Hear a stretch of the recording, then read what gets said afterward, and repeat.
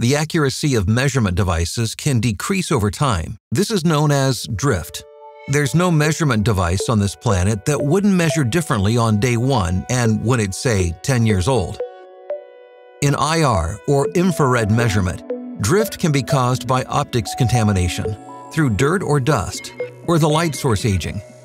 Both cause the IR light to go dimmer over time.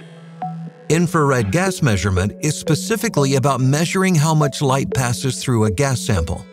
The more gas, the less light comes through.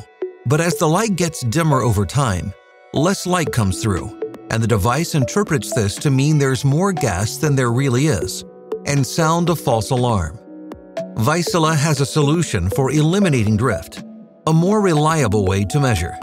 The Optimus OPT100 online DGA monitor is built with an ultra-stable microglow light manufactured in our own cleanroom and a hermetically sealed design that prevents contamination of the optics.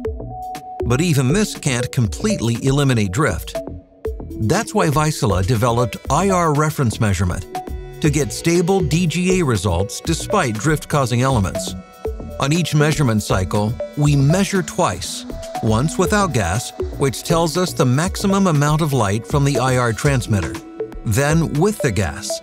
And because we know the maximum amount of light, we reliably measure the absorption of light and gas, completely eliminating drift and giving you reliable, accurate results. This holds true however long time passes. Every false alarm costs money and trouble. When you can trust the measurement data, you can make better informed decisions.